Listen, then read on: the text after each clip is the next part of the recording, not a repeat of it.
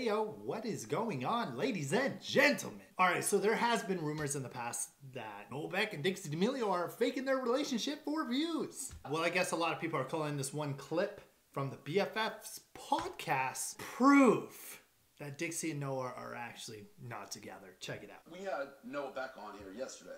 the oh. one we're still confused by Yeah. is you I saying need to know. you had it because that seems to be a very real relationship. And you said it was fake. Noah Beck, I just can't because of the information I'm hearing about him and his girlfriend. You have but what? Well, I just don't like when people fake relationships for the internet. That pisses me. But So you you stand stand by by what you that, said. it- that Yeah, it's yeah, yeah, yeah. So you still think it's fake? Yeah. There's no way you actually think that though. Let's just say when I was at Tana Mongeau's house doing an interview with Tana, I want to. I don't there know. was That, something said to me that made a lot of sense. And the proof is unreal. There was something said to her that made a lot of sense. That's proof Noah and Dixie aren't in love. They don't love each other. She nailed it. She brought all the receipts.